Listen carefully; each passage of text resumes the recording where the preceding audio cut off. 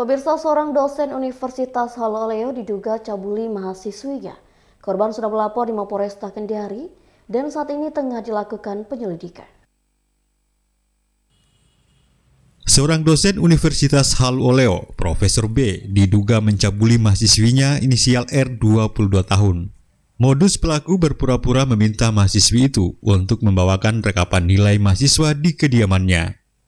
Menurut Kasat Reskrim Polresta Kendari AKP Fitrayadi, penyidik mulai mengumpulkan alat bukti, meminta keterangan korban, saksi, dan akan melayangkan surat panggilan terhadap pelaku. Keterangan korban dugaan pelecehan oleh Profesor B, mantan dekan Fakultas Keguruan dan Ilmu Pendidikan FKIP UHO, dilakukan sebanyak dua kali di rumah kediaman pelaku perumahan dosen, Kelurahan Kambu, Kecamatan Kambu, Kota Kendari, pada Minggu 17 Juli 2022 dan Senin 18 Juli 2022. Status mahasiswi di salah satu perguruan tinggi di Sulawesi Tenggara datang mengadukan ke Polresta Kendari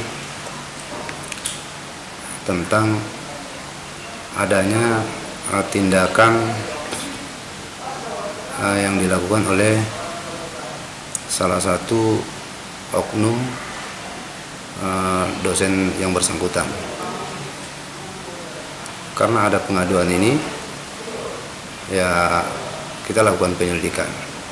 Dan perlu digarisbawahi bahwa karena ini uh, pengadunya seorang wanita dan yang diadukan pun perkara yang tidak seperti biasa uh, dilayani oleh penyidik khusus perempuan dan anak. Korban meminta kepolisian segera menuntaskan kasus dugaan pelecehan ini agar mahasiswa lain tidak menjadi korban. Dari Kendari, Mutarudin E News memberitakan.